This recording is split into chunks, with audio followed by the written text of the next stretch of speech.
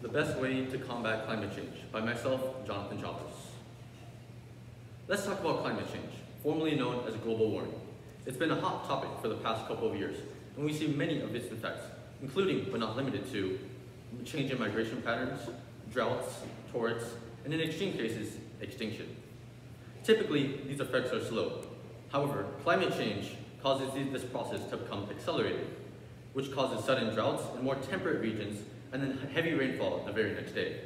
Many ecosystems will shatter, and this process will directly and indirectly affect mankind. Now what can we do about it? Humanity has created technological and mechanical marvels since its advent. Such marvels can include the Roman aqueducts, which bring water from one source to a city, and the Roman roads, which um, which allows the military, merchants, and people to move to and from Rome with much more efficiency, thereby easing their lives. Great advancements in science and in medicine has allowed humanity to alter genes and change attributes of people. How can we use this power in the face of climate change, you might ask? The answer is CRISPR, a gene editing science which lets us change our genes to resist certain things such as heat, cold, and, and uh, infections. This can prove beneficial when, when faced with climate change. CRISPR, of course, isn't perfect, and some unwanted genes may change, thereby causing cancers. Uh, even if this process worked, however, this, this, these changes can't affect the very next generation, which means they would also need to receive the same treatments. While gene editing is a creative solution, it isn't an effective one. If we can't trust modern science, what can we count on? How about migration? People have been leaving their hometowns since the dawn of humanity for various reasons. But where, you might ask, would we move? Some places are much more climate stable than others. However, places with higher or lower temperatures than average are much more susceptible to climate fluctuations. If everyone flocks to these more temperate climates, overpopulation will occur, thereby causing that region to use more resources, land, and energy, thereby contributing to the climate crisis that they were trying to avoid. These solutions have problems. Gene alteration only affects an individual, and migration isn't truly sustainable. These solutions only fight or run away from nature. Therefore, the only solution is to base our inspiration on nature. Take inspiration from the Egyptian boats, who harnessed the wind to move objects up and down the Nile. Tofinu villagers, as well, built their, their houses above the river, which allows them to farm fish much more easier. Take this quote from Julius Watson, Julia Watson, our one of our stimulus resources.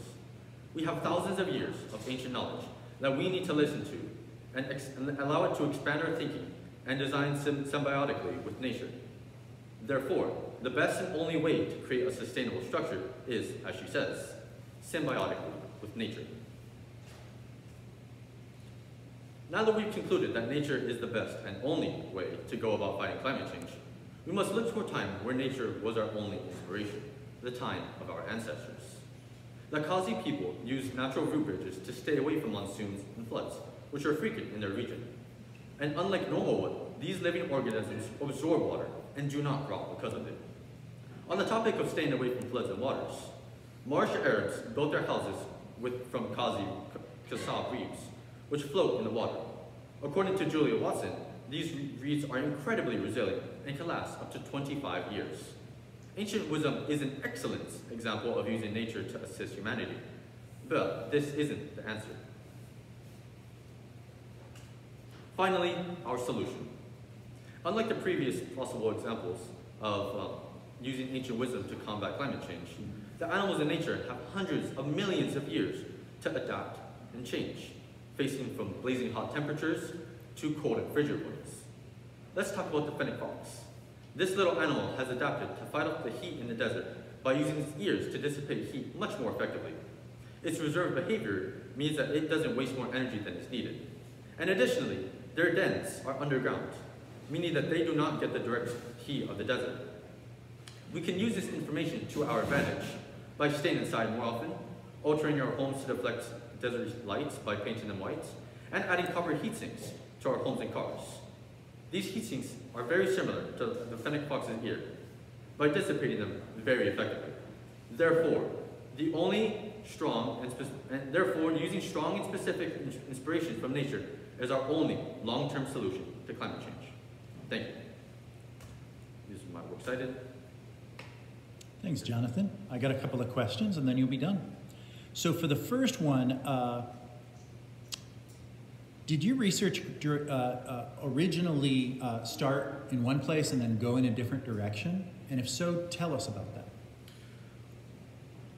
Well, originally I was thinking on how we could base, not on animals, animals, but from nature's, excuse me, from their buildings, from the way nature forms, from the way evolution works. How if something doesn't work, then nature tries something else. It's a way of, suppose, brute forcing it. So humanity specifically chooses these things. However, nature, since it brute forces it, means that it's much more effective. Okay, terrific. And then as a follow-up question to that, uh, what additional questions emerged from your research and why do you think these questions are important? Well, during my research, uh, one of my questions to myself was that since our ancestors used nature, um, how, is, how is that not more effective than nature itself? Since humanity has a way of focusing on things, structuring things, making them more focused and better. And then I started thinking to myself, well, nature has had more and more, more time than humanity has.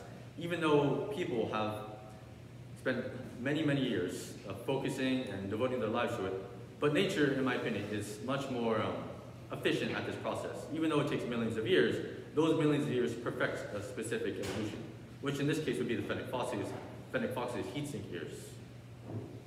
Okay, terrific.